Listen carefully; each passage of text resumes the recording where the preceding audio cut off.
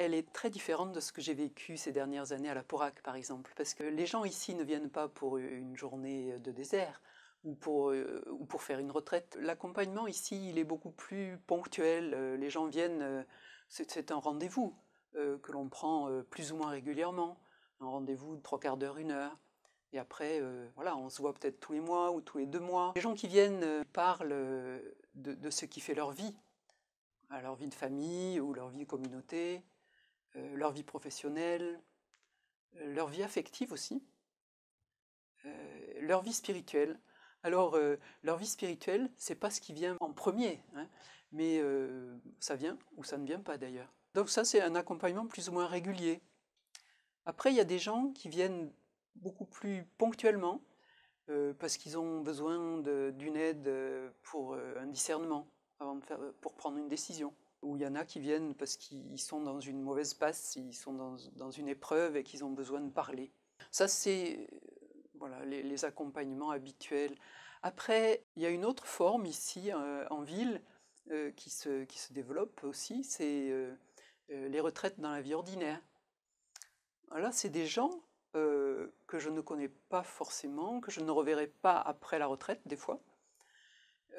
Ça se joue sur, bon là par exemple pendant le carême c'était sur quatre semaines, c'était des jeunes professionnels. Je les rencontrais une fois par semaine et donc là, l'accompagnement, c'est euh, essentiellement euh, parler de, la manière dont ils ont prié avec les textes ou les difficultés qu'ils ont eues, euh, comment ça a résonné dans leur vie quotidienne puisqu'ils ont continué à travailler. Quelquefois, c'est voilà, des conseils pour comment prier davantage avec un texte ou comment faire avec ses distractions. Enfin, voilà, c'est vraiment en lien avec la prière.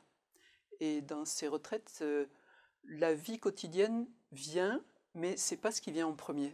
L'idéal, c'est que, ça vienne d'ailleurs, parce que ça permet de voir comment justement cette parole de Dieu, méditer, éclaire un peu le, quotidien de sa vie. C'est des retraites qui durent là sur quatre semaines, et quelquefois c'est des retraites sur une semaine, et là l'accompagnement c'est tous les jours. Les personnes prient euh, une fois par jour sur un texte, et il y a un accompagnement chaque jour. Alors c'est beaucoup plus euh, voilà, au pas à pas.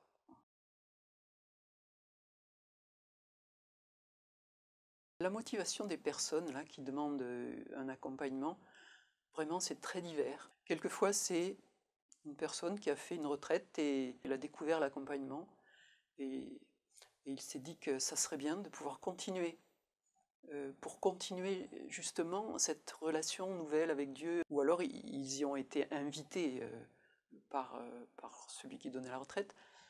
Bon, après, il y a des mouvements aussi comme CVX qui, qui encourage vraiment les membres de, la communauté à, se faire accompagner. Après, il y a des personnes qui viennent parce qu'ils sentent qu'ils ont besoin de mettre un peu plus de cohérence dans leur vie. Et qui ont, besoin d'en parler, justement.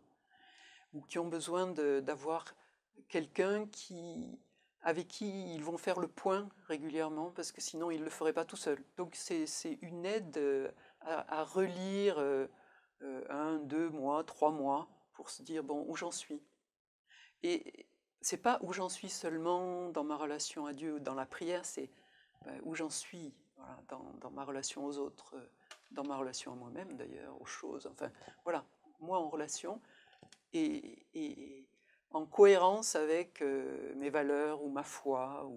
Après, il y a aussi des gens qui viennent parce que ils ont une recherche plus ou moins confuse confuse, sans savoir trop, chercher un sens à leur vie, ils sentent, ils sentent qu'il y a quelque chose qui n'est est pas bon, qui n'est pas ajusté. Il y a une dimension spirituelle de leur vie qu'ils ont envie de, de développer, de faire naître. Donc là, on n'est pas encore euh, dans une relation personnelle avec Dieu. Des fois, la Bible, c'est un vague souvenir de l'enfance, ou bon, voilà. Donc il y a un peu tous les niveaux, hein, il y a un peu toutes les demandes.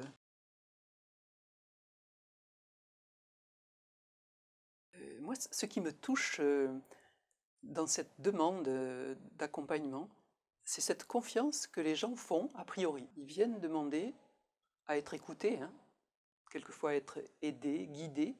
Voilà. Mais il y a un a priori une confiance. Et moi, ça m'étonne toujours euh, de voir que, quelqu'un puisse venir euh, comme ça parler. En général, ils viennent parler pour demander une aide. C'est une démarche quand même particulière de venir dire à quelqu'un ses difficultés dans la prière, ou ses difficultés dans la foi, ou ses difficultés relationnelles hein, avec euh, son mari ou sa communauté, ah, ou ses difficultés tout court. Donc il se livre quand même de façon très simple, quoi alors qu'on se connaît à peine. Bon, après, on entre dans une relation, mais il y a un a priori là.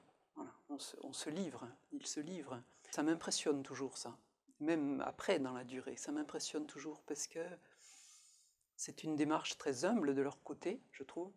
Et du coup, moi, ça me provoque aussi à, avoir cette attitude de, grand respect. Et quelquefois, selon ce qui est, partagé, euh, ça provoque aussi beaucoup de, compassion ou de bienveillance. enfin voilà. Donc il y a quelque chose qui se joue dans la relation là. J'éprouve souvent ça euh, que leur attitude humble me conduit à ne pas me mettre moi euh, au-dessus. C'est pas moi, je sais, j'en sais pas plus que de ce qu'ils viennent me dire. Voilà. Mais c'est dans cette écoute que petit à petit euh, se dégage quelque chose, qu'eux-mêmes arrivent à trouver un petit peu la, solution à leur, à leurs questions, par exemple. Quand ils me parlent de certaines choses, moi j'entends aussi euh, euh, des choses que je peux leur renvoyer, euh, qu'ils ont vécues sans y prêter attention. Le fait que je le soulève attire leur attention dessus, ou donne de la valeur à ce qu'ils n'en avaient pas à leurs propres yeux.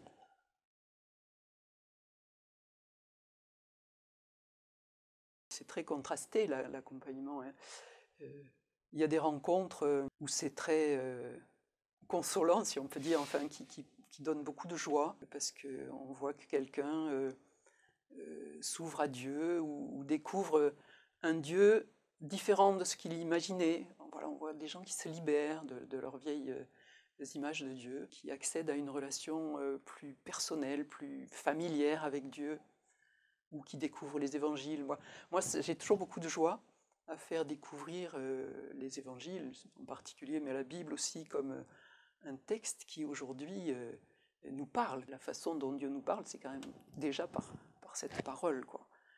Et alors voir quand cette parole touche, je trouve ça très, très beau. Alors après, il y a aussi des, côtés douloureux quand même hein, dans ces accompagnements, parce que quelquefois, dans la durée, on il m'arrive d'accompagner des gens qui sont euh, toujours un petit peu dans le même combat.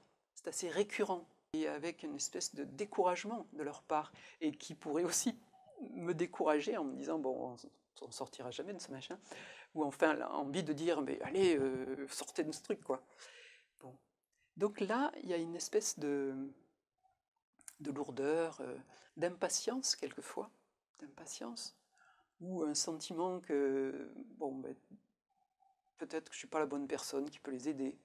Voilà. Ben, et, peut-être que c'est vrai d'ailleurs, hein, il faut pouvoir dire ça. Mais de toute façon, euh, il y a toujours moyen, quand on voit que les gens sont un petit peu encombrés par des problèmes qui dépassent l'accompagnement spirituel, qui sont plus de l'ordre de, disons, psychologique, euh, on peut très bien inviter quelqu'un à aller se faire aider par ailleurs pour déblayer un peu le terrain euh, psychologique qui encombre la relation euh, après euh, la relation à Dieu, quoi, la, vie spirituelle. Ce qui m'aide à vivre cette mission, moi, c'est le, sentiment, c'est une réalité, d'y être envoyé. Et vraiment, moi, je compte sur Dieu. Je compte sur Dieu parce que je vois bien qu'il y a des jours où si, l'esprit n'était pas là pour me susciter en moi une parole, je serais un peu perdu quand même, hein, devant certaines situations. Moi, je me dispose à une rencontre. Euh, je, prie, ça peut, ne pas être une prière très longue, mais euh, cette disposition intérieure pour être vraiment l'instrument de la grâce de Dieu pour cette personne. Et du coup, euh, j'aborde la rencontre en disant oui, c'est le Seigneur qui va agir. Bon, moi j'écoute, bien sûr, et puis moi je parlerai, bien sûr aussi. Mais on est trois. Voilà. Il y, a, la personne, il y, a, le Seigneur, et puis il y a moi. Et je m'appuie vraiment sur cette confiance que Dieu pourvoit.